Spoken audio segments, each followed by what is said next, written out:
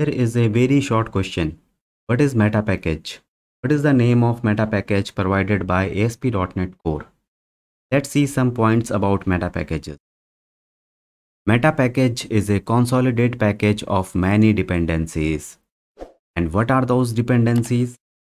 Here is the list of the dependencies which is consolidated in one meta package in ASP.NET Core project. So this is the first thing. Meta package is a consolidate package of many dependencies. Second point is meta package present in ASP.NET uh, ASP.NET project by default. So you need not to include it explicitly, but it is present by default in the ASP.NET Core project. Now here is the screenshot and here you can see the package. So the package name is microsoft.aspnetcore.app. So this is the meta package for ASP.NET Core application. And this is the meta package for .NET Core uh, applications for other applications than ASP.NET Core. So this is the answer about the meta packages.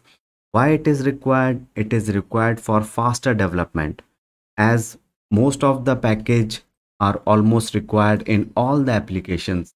That's why they are consolidated in one meta package. This is the short, simple answer of this question. If you have any queries about this question, then please post in the comment section and I will try to answer soon as possible.